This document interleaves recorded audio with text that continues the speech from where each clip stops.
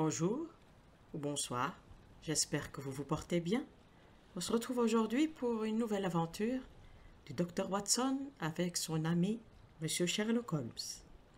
L'histoire s'intitule La boîte en carton. En choisissant quelques affaires typiques qui illustrent les remarquables qualités mentales de mon ami Sherlock Holmes, j'ai autant que possible accordé à la préséance celle qui, moins sensationnelle peut-être, offrait à ses talents le meilleur champ de manœuvre. Il est toutefois malheureusement impossible de séparer tout à fait le sensationnel du criminel, et le chroniqueur se débat dans un dilemme. Ou sacrifier les détails essentiels et donner ainsi du problème une présentation inexacte, ou bien se servir de la manière que le hasard, et non un choix, lui fournit. Après cette courte préface, je me tourne vers mes notes pour en extraire une chaîne d'événements étranges et particulièrement terribles. C'était une journée du mois d'août. Il régnait une chaleur torride. Baker Street ressemblait à une fournaise. La réverbération du soleil sur les briques jaunes de la maison d'en face était pénible pour l'œil. On avait de la peine à croire que c'étaient les mêmes murs qui surgissaient si lugubrement des brouillards de l'hiver. Nos stores étaient à demi tirés. Holmes s'était roulé en boule sur le canapé. Il lisait et relisait une lettre que lui avait apportée le courrier du matin. Quant à moi, mon temps de service aux Indes m'avait entraîné à mieux supporter la chaleur que le froid, et une température de 33 degrés m'éprouvait nullement. Mais le journal du matin n'avait aucune nouvelle intéressante. Le Parlement était en vacances, tout le monde avait déserté la capitale. Je languissais après les clairières de la nouvelle forêt ou les galets de Southsea. Un compte en banque réduit à zéro m'avait obligé à retarder mes vacances. Mon compagnon n'éprouvait pas le moindre attrait pour la campagne, ni pour la mer. Il affectionnait de vivre au centre de cinq millions d'habitants, d'étirer les fils parmi eux, de vibrer au premier bruit déclenché par un crime mystérieux. L'amour de la nature ne faisait certes pas partie de ses dons, innombrables. Comme Holmes me semblait trop absorbé pour bavarder avec moi, j'avais rejeté mon journal et m'adossé sur ma chaise. J'étais tombé dans une profonde rêverie. Soudain, la voix de Sherlock Holmes s'immisça dans mes pensées. Vous avez raison, Watson, me dit-il. C'est une manière tout à fait absurde de régler un conflit. N'est-ce pas tout à fait absurde? m'exclamai-je, et subitement je me rendis compte qu'il avait fait écho à ma pensée la plus profonde. Je me redressai et le regardai avec ahurissement. Qu'est-ce à dire, Holmes m'écriai-je. Voilà qui dépasse l'imagination. Il se mit à rire de bon cœur. Rappelez-vous qu'il y a quelque temps, lorsque je vous ai lu le passage de l'un des contes de Poe, où un logicien serré suit les pensées non formulées de son compagnon, vous avez été enclin à prendre cela pour un vulgaire tour de force de l'auteur. J'ai alors observé que cette euh, habitude m'a été courante et que vous avez exprimé une certaine incrédulité. Oh non. Peut-être pas avec votre langue, mon cher ami, mais à coup sûr avec vos sourcils. Aussi, quand je vous ai vu jeter votre journal et mettre vos pensées en route, j'ai été très heureux de saisir l'occasion de lire à travers elles, et éventuellement de les interrompre, ne fût-ce que pour vous prouver que je pouvais entrer en rapport avec elles. Je ne me contentais pas de si peu. Dans l'exemple que vous m'avez lu, lui répondis-je, le logicien tirait ses conclusions des gestes de l'homme qu'il observait. Si je me souviens bien, son sujet trébuchait sur un tas de pierres, levait le nez vers les étoiles, etc. Mais moi, je suis resté tranquillement assis sur ma chaise. Quels indices aurais-je pu vous offrir? Vous êtes injuste envers vous-même.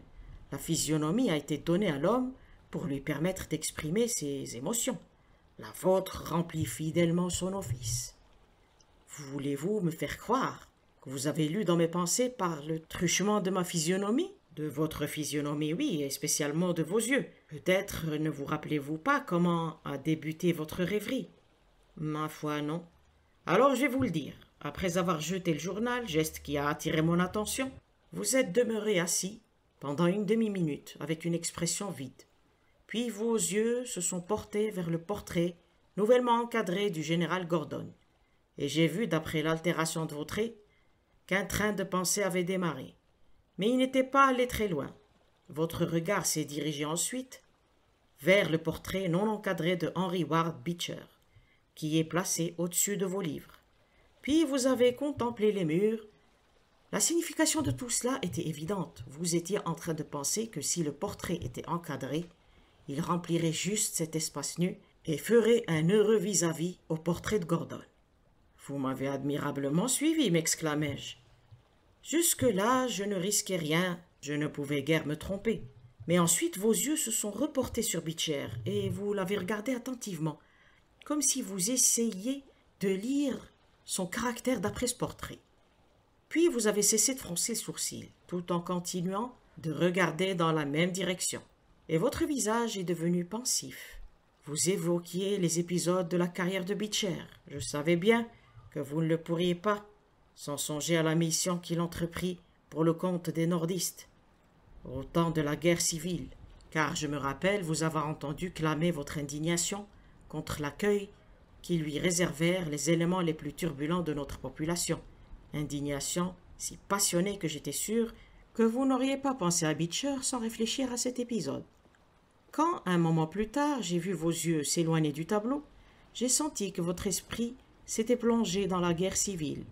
Lorsque j'ai observé vos lèvres serrées, vos yeux étincelants vos mains crispées, j'étais certain que vous pensiez au courage manifesté par les deux camps au cours de cette lutte désespérée. Et puis à nouveau votre physionomie s'est attristée. Vous avez hoché la tête. Vous méditiez alors sur les horreurs, les deuils, le gaspillage de vie humaine. Vous avez porté la main sur votre vieille blessure, et un sourire a flotté sur vos lèvres. J'en ai déduit que l'absurdité de l'application de cette méthode aux problèmes internationaux ne vous avait pas échappé et à ce moment-là j'ai déclaré partager votre opinion sur cette absurdité. Et j'ai été ravi de constater l'exactitude de mes déductions. Parfaite exactitude, dis-je. Et maintenant que vous m'avez tout expliqué, j'avoue que j'en suis encore confondu. C'est très superficiel, mon cher Watson, je vous assure. Je ne me serais pas permis une telle intrusion si l'autre jour vous ne m'aviez manifesté votre incrédulité. Mais je suis aux prises avec un petit problème dont la solution peut se révéler plus difficile que ce modeste essai de lecture de pensée. Avez-vous remarqué dans le journal un entrefilé se rapportant au contenu peu banal d'un paquet qui a été adressé par la poste à mademoiselle Cushing de Cross Street, à Croydon? Non, je n'ai rien vu. Ah, il a dû vous échapper. Tendez-moi le journal, je vous prie. Voici, sous la colonne financière. Seriez-vous assez bon pour le lire à haute voix? Je repris le journal qu'il m'avait envoyé et je lus l'entrefilé en question. Il était intitulé Paquet macabre. Mademoiselle Suzanne Cushing, habitant à Cross Street, à Croydon, a été victime d'une plaisanterie révoltante, à moins qu'il ne faille attacher cet incident à une signification plus sinistre. À deux heures hier après-midi, le facteur lui délivra un petit paquet enveloppé de papier brun. Une boîte en carton se trouvait à l'intérieur. Elle était pleine de gros sel. Mademoiselle Cushing, en la vidant, découvrit avec horreur deux oreilles humaines, apparemment coupées depuis peu. La boîte enveloppée dans le papier avait été postée de Belfast, la veille au matin. L'expéditeur est inconnu. L'affaire est d'autant plus mystérieuse que mademoiselle Cushing, qui a cinquante ans, a mené une existence fort retirée et possède si peu de relations ou de correspondants. Et c'est un événement quand elle reçoit une lettre par la poste. Cependant, il y a quelques années, lorsqu'elle habitait à Penge, elle avait loué des chambres de sa maison à trois jeunes étudiants en médecine, dont elle dut se débarrasser en raison de leurs habitudes bruyantes et irrégulières. La police estime que ce geste outrageant a pu être commis par l'un d'eux, qui lui aurait gardé rancune et qui comptait l'épouvanter par ses dépouilles de salle de dissection. Cette thèse s'appuie sur le fait qu'un étudiant était originaire du nord de l'Irlande et même, selon les dires de mademoiselle Cushing, de Belfast. En attendant, une enquête est ouverte. Elle a été confiée à M. Lestrade, qui est l'un de nos meilleurs détectives. Assez pour le délit chronique, fit Holmes. Quand j'eus achevé ma lecture, passons à notre ami Lestrade. Ce matin, j'ai reçu un mot de lui. Voici ce qu'il écrit. Je pense que cette affaire est tout à fait dans votre ligne. Nous avons le ferme espoir d'élucider le mystère, mais nous éprouvons une certaine difficulté à trouver une base sur laquelle démarrer. Bien sûr, nous avons télégraphié au bureau de poste de Belfast, mais ce jour-là, beaucoup de paquets ont été manipulés et personne ne se souvient de celui-ci en particulier, ni de son expéditeur. La boîte est une boîte d'une demi-livre de tabac doux et elle ne nous a rien livré d'intéressant. La thèse de l'étudiant en médecine m'apparaît encore comme la plus vraisemblable, mais si vous aviez quelques heures à perdre, je serais très heureux de vous rencontrer. Je serai chez mademoiselle Cushing au commissariat toute la journée. Qu'en dites-vous, Watson?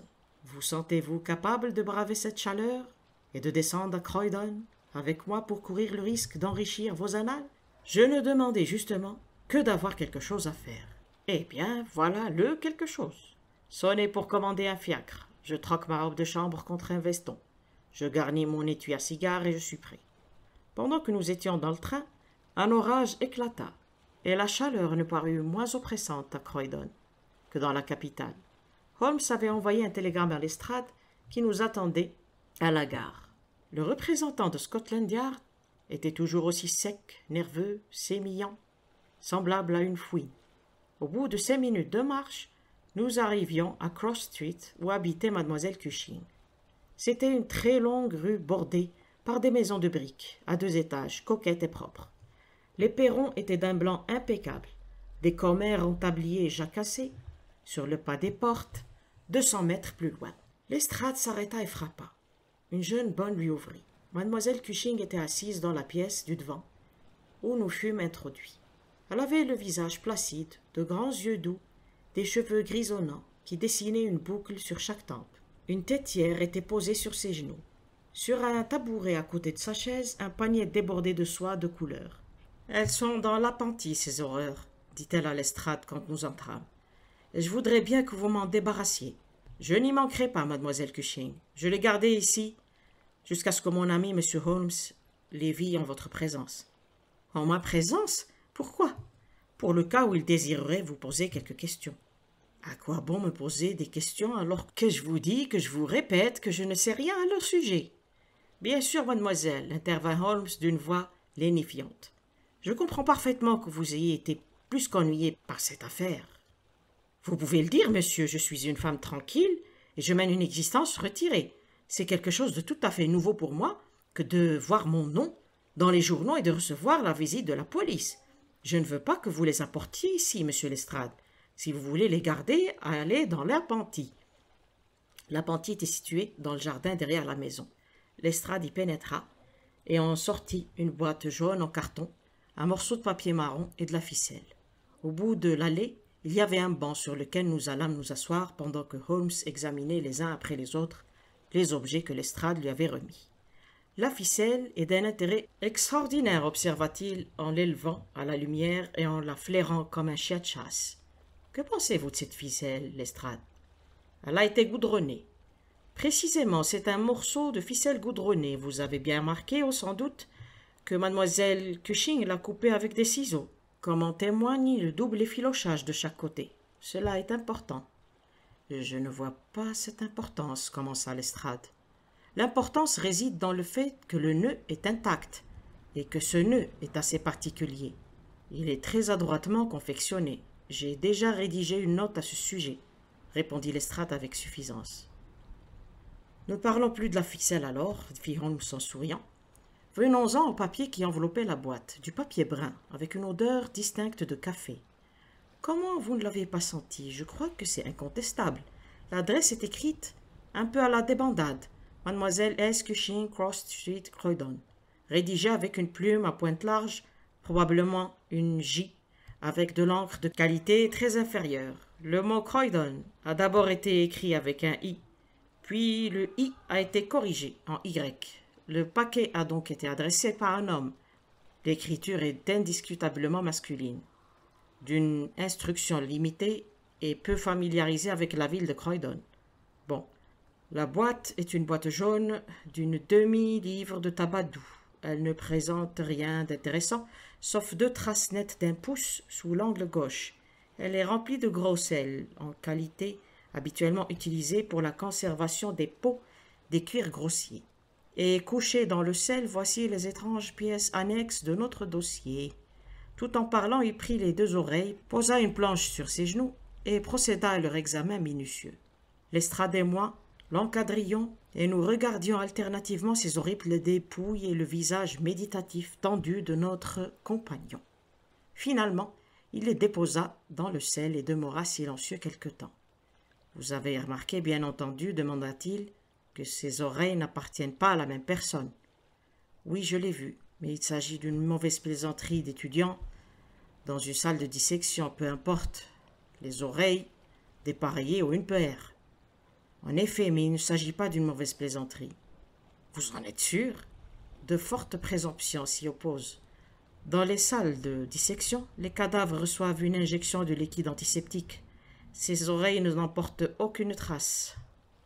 D'autre part, elles sont fraîches. Elles ont été arrachées avec un instrument émoussé. Or, les étudiants travaillent avec de bons instruments.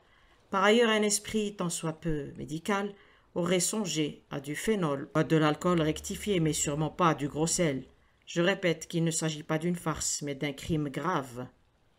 Un petit frisson me parcourut l'échine en entendant les mots de mon compagnon, et en regardant le sérieux qui avait durci ses traits. Ce préliminaire brutal semblait présager un drame horrible et inexplicable, encore à l'arrière-plan. Lestrade toutefois secoua la tête comme quelqu'un qui n'est qu'à demi convaincu. Je ne nie pas que la thèse de la farce se heurte à plusieurs objections, dit-il, mais il y en a de plus fortes contre la vôtre. Nous savons que cette femme a mené une existence très discrète et très respectueuse à Penge, comme ici depuis vingt ans. Elle ne s'est presque jamais absentée de chez elle, plus d'une journée. Pourquoi, dès lors, un criminel lui enverrait-il les preuves de son crime, à moins qu'elle ne soit une actrice consommée? Elle ne comprend pas mieux l'affaire que nous-mêmes.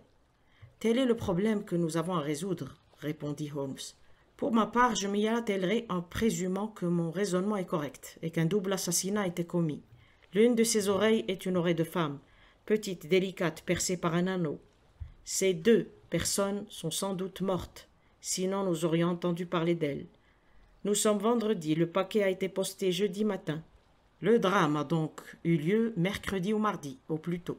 Si ces deux personnes ont été assassinées, qui d'autre que leur meurtrier aurait adressé à mademoiselle Cushing la preuve de son crime? Nous pouvons déduire que l'expéditeur du paquet est l'homme que nous recherchons. Mais il devait avoir une bonne raison pour l'adresser à mademoiselle Cushing. Quelle raison? Sans doute pour l'avertir que le crime avait été commis, ou peut-être pour la faire souffrir. Mais dans ce cas, elle sait qui il est. Le sait-elle? J'en doute. Si elle le sait, pourquoi aurait-elle alerté la police? Elle aurait enterré les oreilles et personne n'en aurait rien su. Voilà ce qu'elle aurait fait si elle avait désiré protéger le criminel. Mais si elle ne désirait pas le protéger, alors elle nous aurait livré son nom. C'est un bel écheveau à débrouiller. Il avait parlé de sa voix aiguë et rapide, en regardant dans le vague. Soudain, il sauta sur ses pieds et se tourna vers la maison. J'ai quelques questions à poser à mademoiselle Cushing, dit-il. Dans ce cas, je vais vous laisser, déclara Lestrade car j'ai une autre petite affaire en cours. Je crois n'avoir plus rien à tirer de mademoiselle Cushing. Retrouvez-moi au commissariat. Nous y passerons en nous rendant à la gare, répondit Holmes. Nous nous retrouvâmes bientôt dans la pièce du devant, où la vieille demoiselle travaillait paisiblement sa têtière. Elle la reposa sur ses genoux quand nous entrâmes, et nous regarda de ses yeux bleus, perçants, bien francs. Je suis persuadée, monsieur, nous dit-elle, que c'est une erreur, et ce paquet devait absolument pas m'être adressé. Je l'ai dit et redit à ce gentleman de Scotland Yard. Mais il n'a fait qu'en rire. Pour autant que je sache, je ne compte aucun ennemi sur cette terre. Pourquoi donc me jouerait-on une pareille plaisanterie? Je partage tout à fait cette opinion, mademoiselle Cushing, répondit Holmes en prenant un siège à côté d'elle. Je crois qu'il est plus probable. Il s'arrêta. Je le vis non sans surprise, considérer avec une intensité le singulier profil de mademoiselle Cushing. Un éclair d'étonnement et de satisfaction passa sur son visage, mais lorsqu'elle leva les yeux pour découvrir la cause de son silence, il était redevenu impassible. Je me suis mise alors à étudier les cheveux plats et grisonnants de notre hôtesse, son petit bonnet propre, sa physionomie placide, sans voir ce qu'avait pu provoquer l'émotion de mon compagnon. Il y a deux ou trois petites questions Oh, je suis lasse des questions, s'écria avec impatience mademoiselle Cushing. Vous avez deux sœurs, je crois. Comment le savez-vous? Au moment où je suis entrée dans la pièce, j'ai remarqué que vous aviez sur la cheminée la photographie d'un groupe de trois dames.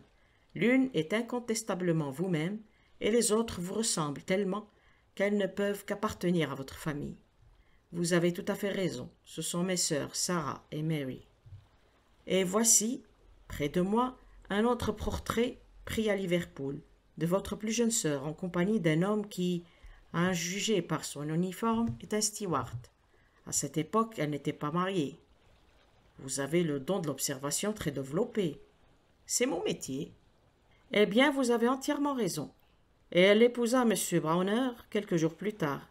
Il était sur la ligne de l'Amérique du Sud quand cette photo fut prise, mais il était si amoureux de sa femme qu'il ne pouvait se résoudre à la quitter si longtemps. Aussi s'engagea-t-il dans les navires qui font le trafic entre Liverpool et Londres. Ah. Le Conqueror, peut-être. Non, le Mayday. Aux dernières nouvelles, Jim vint me voir ici une fois. C'était avant qu'il se remît à boire. Mais ensuite il buvait toujours, quand il était à terre, et le moindre petit verre le rendait fou, furieux. Ah, ce fut triste le jour quand il se remit à boire. D'abord il me laissa tomber, puis il se querella avec Sarah, et maintenant que Mary ne m'écrit plus, nous ne savons pas comment ils vont. Il était évident que mademoiselle Cushing avait abordé là un sujet qui lui tenait à cœur. Comme la plupart des gens qui mènent une vie retirée, elle s'était montrée timide au début, mais elle devint extrêmement communicative. Elle nous donna beaucoup de détails sur son beau-frère, le steward, puis reprit le thème de ses précédents locataires, les étudiants en médecine. Nous énuméra leurs défauts, leurs noms et les hôpitaux où ils travaillaient. Holmes écoutait avec beaucoup d'attention, et il l'interrompait parfois pour poser des questions. À propos de votre deuxième sœur, Sarah, dit-il, je me demande pourquoi, puisque vous êtes célibataires toutes les deux, vous n'habitez pas ensemble. Ah, on voit bien que vous ne connaissez pas le caractère de Sarah. Quand je suis venu à Croydon, j'ai essayé, il y a deux mois. Nous avons dû nous séparer. Je ne veux rien dire contre ma sœur, mais elle se mêle toujours de tout, et elle est difficile à satisfaire, Sarah. Vous dites qu'elle s'est disputée avec la famille de Liverpool? Oui, et pourtant ils furent quelque temps les meilleurs amis du monde. Elle était allée à Liverpool pour habiter avec eux, et à présent elle n'a pas de mots assez durs pour Jim Browner. Quand elle était ici, elle ne parlait rien d'autre que de son ivrognerie et de ses mauvaises manières. Je crois qu'il n'a pas pu supporter ses ingérences dans son ménage, et que leur brouille a commencé comme ça. Merci, mademoiselle Cushing, dit Holmes, en se levant et en s'inclinant. Votre sœur Sarah habite, m'avez-vous dit, dans le New Street, à Wellington. Au revoir. Je suis tout à fait désolé que vous ayez été troublé par une affaire qui ne vous concerne nullement. Un fiacre passait quand nous sortîmes. Holmes le héla.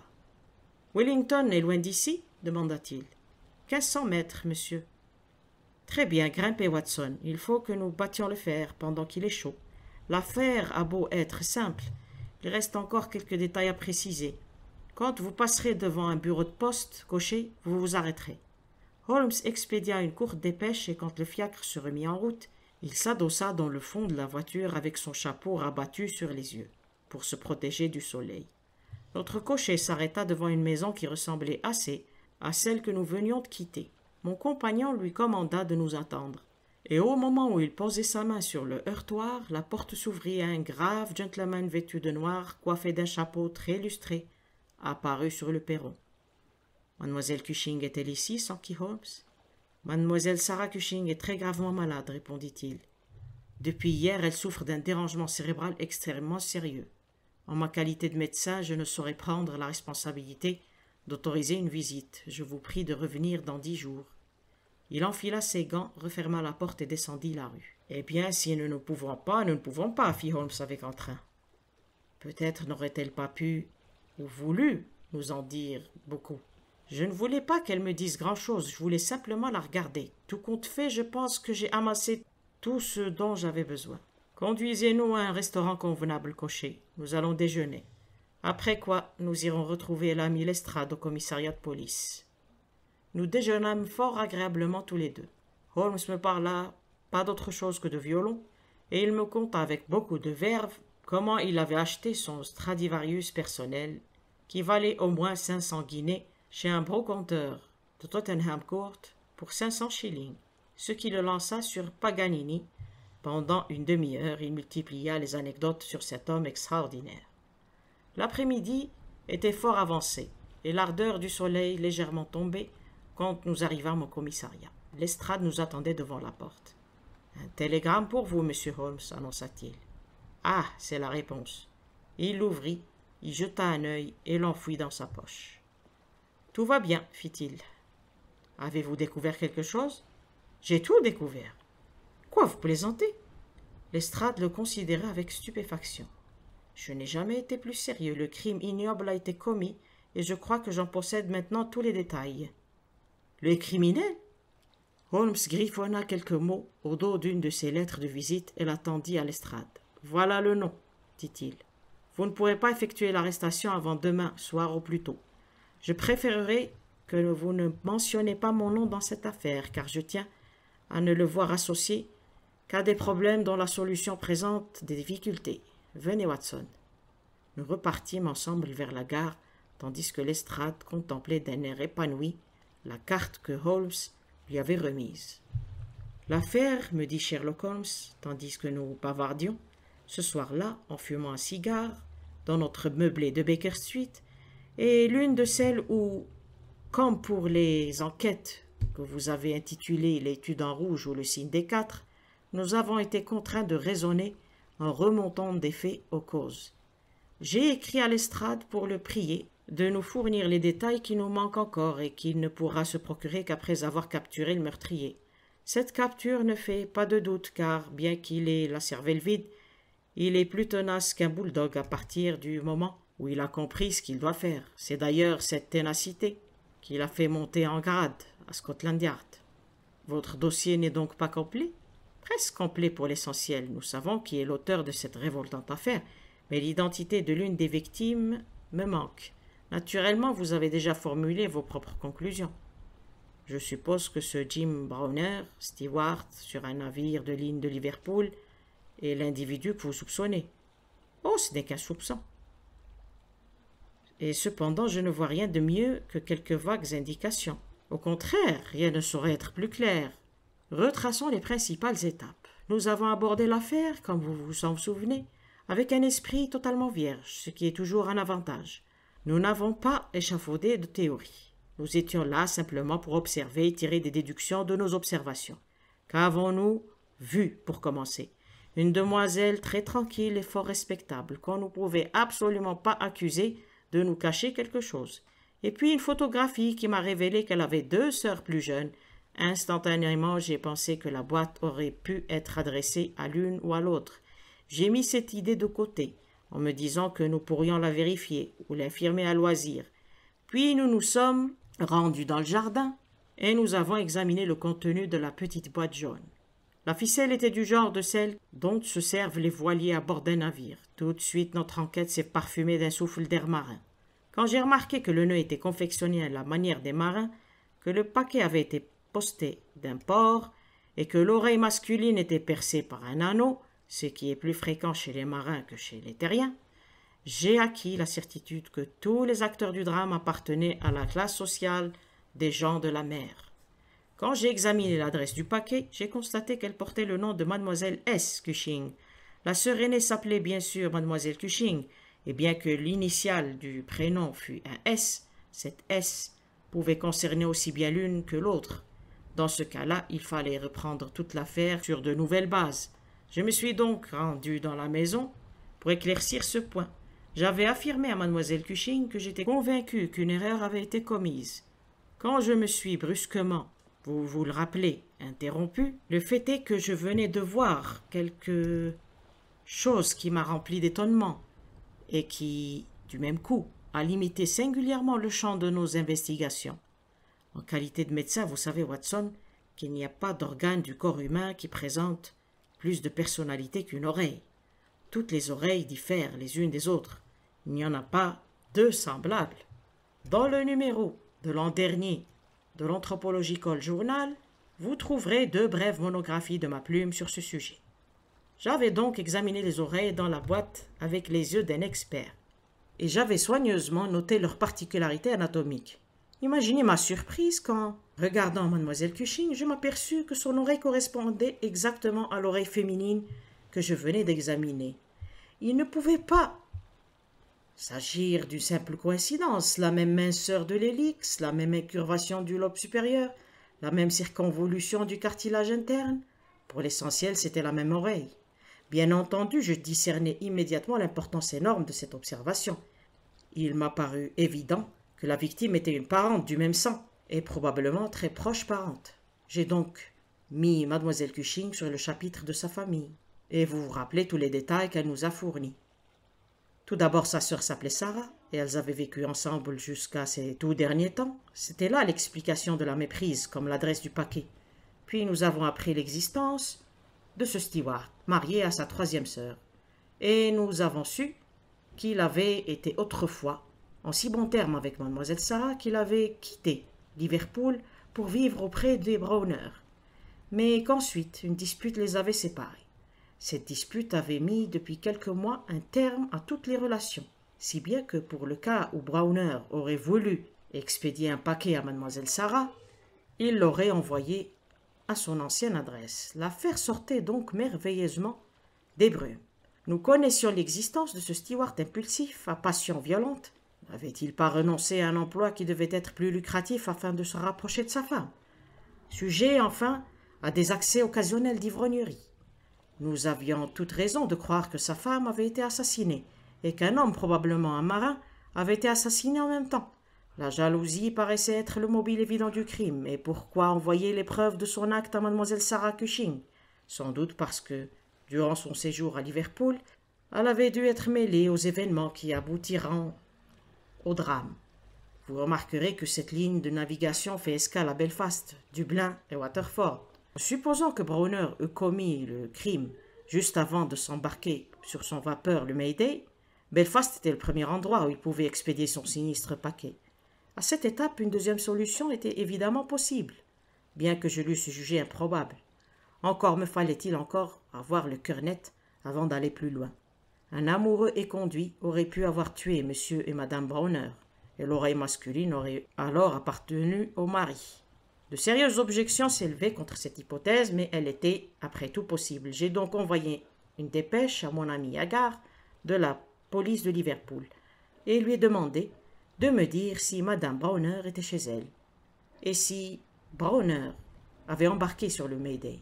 Puis nous sommes allés à Wellington rendre visite à Mademoiselle Sarah. J'étais surtout curieux de voir si cette oreille de famille était aussi bien reproduite chez elle. D'autre part, elle pouvait nous fournir d'importants renseignements, mais je n'y comptais guère. Elle avait dû entendre parler de l'affaire dès la veille, puisque tout Croydon la savait, et que seule elle était à même de comprendre la signification du paquet. Si elle avait voulu aider la justice, elle se serait déjà mise en communication avec la police. Néanmoins, il était de notre devoir d'aller la voir.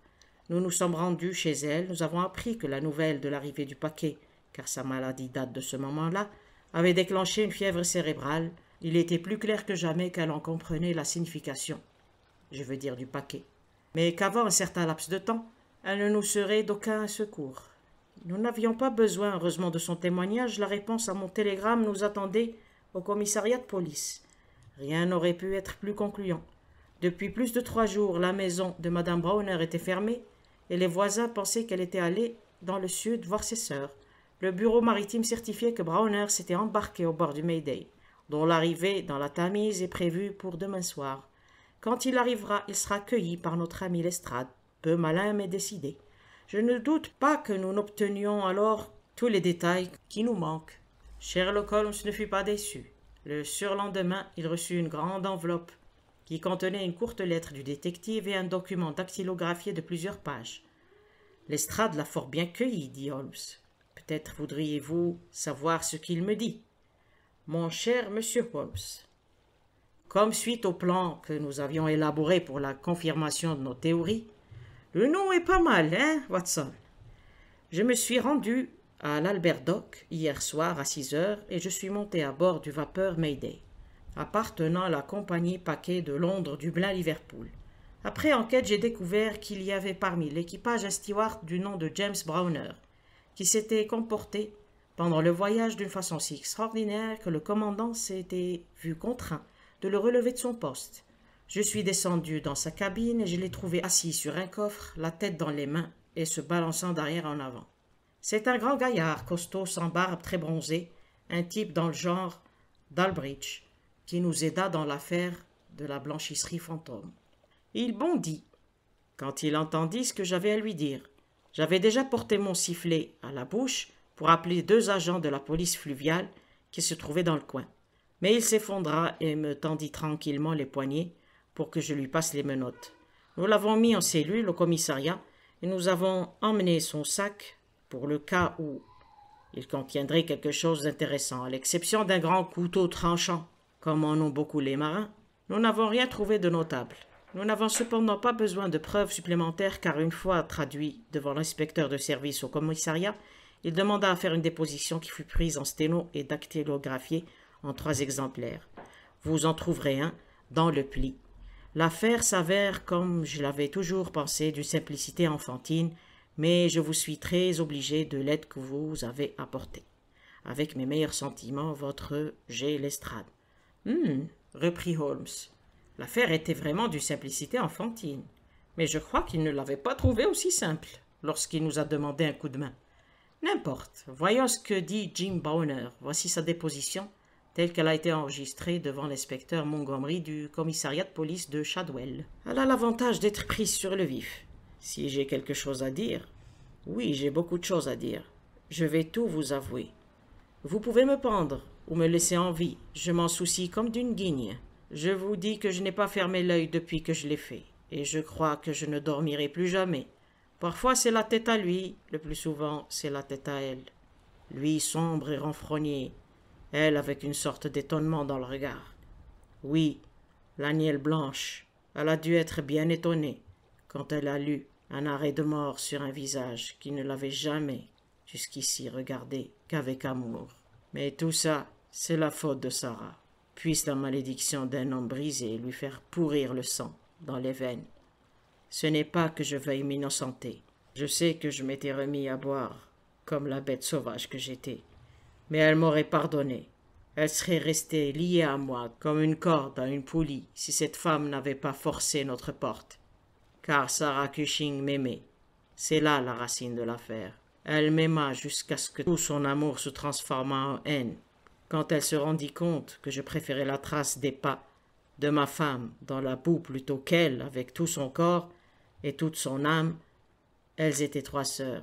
L'aînée était une brave femme, la deuxième un démon, la troisième un ange. Sarah avait trente-trois ans et Mary vingt-neuf quand je me suis marié. Nous étions parfaitement heureux quand nous vivions tous les deux. Et dans tout Liverpool, il n'y avait pas une meilleure femme que ma Mary. Et puis nous avons invité Sarah à passer une semaine chez nous. La semaine est devenue un mois, et finalement elle s'est installée. À cette époque, je ne buvais que de l'eau. Nous mettions régulièrement un peu d'argent de côté, et l'avenir était aussi clair qu'un dollar neuf. Mon Dieu, qui aurait pensé que cela se terminerait ainsi? Qui l'aurait jamais imaginé? Généralement, je passais les week-ends à la maison. Parfois, si le bateau était retardé par un chargement, je restais toute une semaine. J'eus de cette façon l'occasion de voir de plus près ma belle-sœur Sarah. C'était une belle femme, grande, brune, vive, farouche, avec un fier port de tête et une lueur dans les yeux comme l'étincelle d'un silex. Mais quand la petite Mary était là, je ne songeais guère à elle, je le jure, avec autant de force que je crois à la miséricorde de Dieu. J'avais remarqué quelquefois qu'elle aimait être seule avec moi, ou qu'elle me demandait de la sortir, mais je n'avais jamais pensé à autre chose. Un soir, mes yeux s'ouvrirent. J'étais rentré du bateau et ma femme était sortie. Sarah se trouvait seule à la maison. Est Mary j'ai demandé. Oh, elle est sortie pour régler quelques achats. J'étais impatient et je ne pouvais pas tenir en place. Vous ne pouvez donc pas être heureux cinq minutes sans Mary, Jim me dit-elle. Ce n'est pas très gentil pour moi que vous ne vous contentiez pas de ma compagnie pour si peu de temps. Très bien, ma fille, je lui dis, en lui tendant gentiment une main. Aussitôt elle s'empara de ma main et la prit entre les siennes. Elles étaient brûlantes, comme si elle avait de la fièvre. Alors je la regardai dans ses yeux, et je lus tout.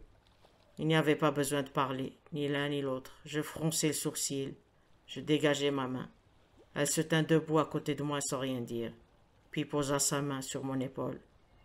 Du calme, vieux Jim, me dit-elle. Et sur ce rire moqueur, elle quitta la pièce en courant. Eh bien, depuis ce jour, Sarah me voit une haine féroce, et je jure que c'est une femme qui peut haïr. J'ai été stupide de tolérer qu'elle continue de vivre avec nous. Oui, un imbécile. Et je n'ai rien dit à Mary pour ne pas lui faire de la peine. Les choses ont continué, comme par le passé, mais au bout d'un certain temps, j'ai noté que Mary changeait. Toujours elle avait été confiante, naïve. Voilà qu'elle devenait bizarre, soupçonneuse. Elle voulait savoir où j'avais été, ce que j'avais fait, qui m'écrivait, ce que j'avais dans mes poches, et mille autres bêtises. De jour en jour, elle se faisait plus irritable, plus étrange. Nous nous disputions sans raison, pour des riens. Je n'y comprenais goutte. Sarah m'évitait maintenant. Mais elle et Mary étaient inséparables. Je me rends compte à présent qu'elle complotait contre moi et qu'elle envenimait le caractère de ma femme. Mais j'étais tellement aveugle que je ne le supposais même pas. Puis je me remis à boire. Cela, je crois que je ne l'aurais pas fait si Mary était restée la même. Du coup, elle trouva un motif de reproche et entre nous le fossé se creusa de plus en plus. Survint alors cet Alec Fairbrain. Les choses se noircirent encore plus. C'était pour voir Sarah qu'il commença à nous faire visite. Mais il vint bientôt pour nous tous, car c'était un homme séduisant, et il se faisait des amis partout où il allait. Beau garçon, fanfaron, tira quatre épingles frisées. Il avait vu la moitié du monde, et il savait parler de ce qu'il avait vu. Il était agréable, je ne le nie pas et pour un marin, il était extraordinairement poli, ce qui me donnait à penser qu'autrefois il avait dû se tenir sur la poupe et non sur la plage avant. Pendant un bon mois il vint chez moi, à sa fantaisie. Jamais je ne pensais qu'un mal quelconque pourrait naître de ses manières douces et insinuantes. Un jour tout de même un incident me le rendit suspect. À partir de ce moment-là, je perdis mon repos pour toujours. Un très petit incident. J'étais arrivé à l'improviste dans le salon, et quand j'ouvris la porte, j'aperçus sur le visage de ma femme un éclat de joie. Mais quand elle vit que c'était moi, cet éclat s'évanouit, et elle se détourna toute déçue. Ce fut assez pour moi. Il n'y avait personne d'autre qu'Alec Fairbairn, dont le pas pouvait être confondu avec le mien.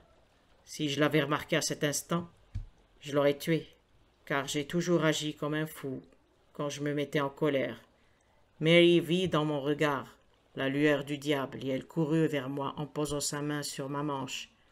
Non, Jim, non, me dit-elle. Où est Sarah? j'ai demandé. Dans la cuisine. Sarah j'ai dit quand je suis rentré dans la cuisine. Ce Fairbairn ne mettra plus jamais les pieds chez moi.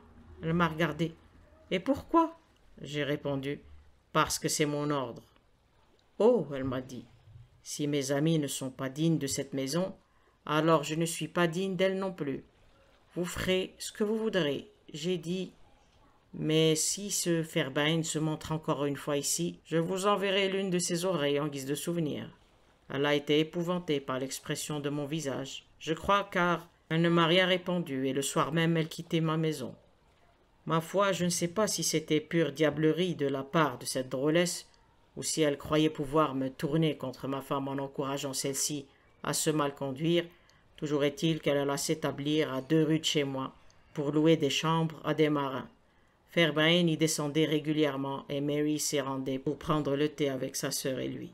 Combien de fois y est-elle allée, je l'ignore, mais je l'ai suivie une fois, et quand je suis entré, Fairbrain s'est enfui en sautant du mur du jardin, comme le lâche qu'il était. Je jurai à ma femme que je la tuerais si je la retrouvais avec lui, et je la ramenai à la maison. Elle tremblait, sanglotait. Elle était aussi blanche qu'une feuille de papier. Il n'y eut plus d'amour entre nous. Je pouvais me rendre compte qu'elle me détestait. Quand cette idée me poussait à boire, elle me méprisait et me haïssait encore plus. Sur ces entrefaites, Sarah comprit qu'elle ne pouvait gagner sa vie à Liverpool, et elle partit pour Croydon afin d'y habiter, je crois, avec sa sœur.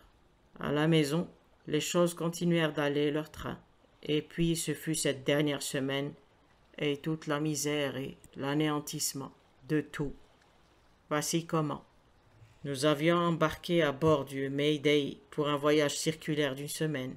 Mais une barrique se désamarra et démolit l'une de nos tôles, si bien que nous dûmes regagner le port pour douze heures. Je descendis à terre et rentrai à la maison. J'espérais que peut-être ma femme serait heureuse de me voir si tôt de retour.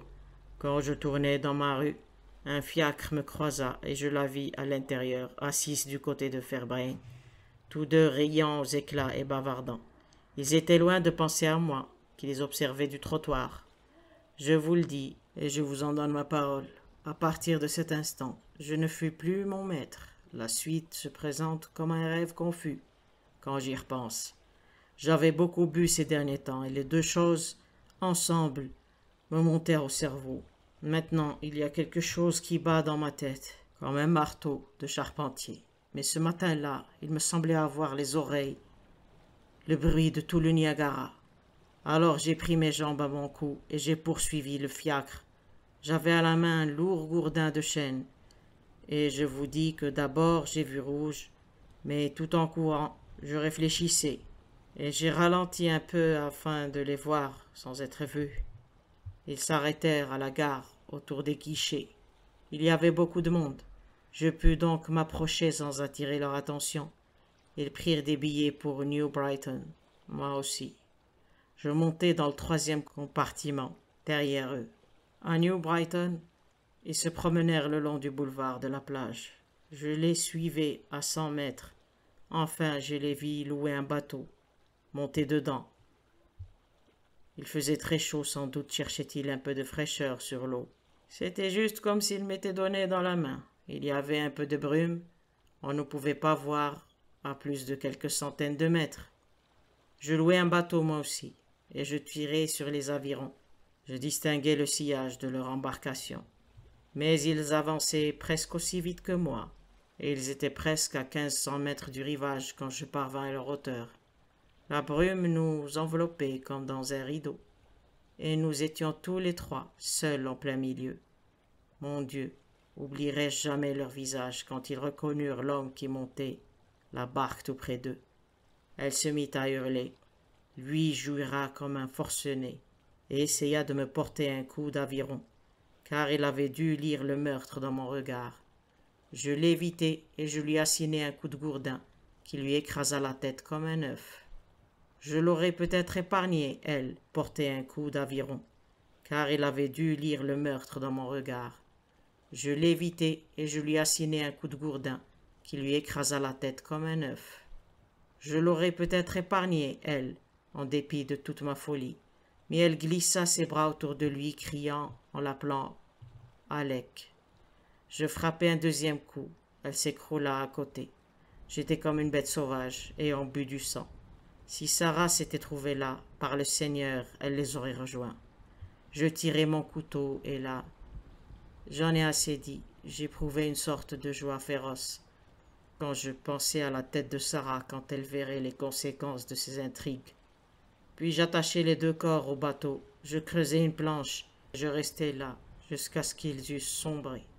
Je savais bien que le loueur des bateaux penserait qu'ils s'étaient perdus dans la brume et qu'ils avaient dérivé en pleine mer, revint à terre et rembarquai à bord de mon navire, sans qu'âme au monde ait soupçonné ce qui s'était passé cette nuit-là. Je préparai le paquet pour Sarah Cushing le lendemain. Je l'expédiai de Belfast. Voilà, j'ai dit toute la vérité. Vous pouvez me pendre, vous pouvez faire de moi ce que vous voudrez, mais vous ne pourrez pas me punir comme déjà j'ai été puni.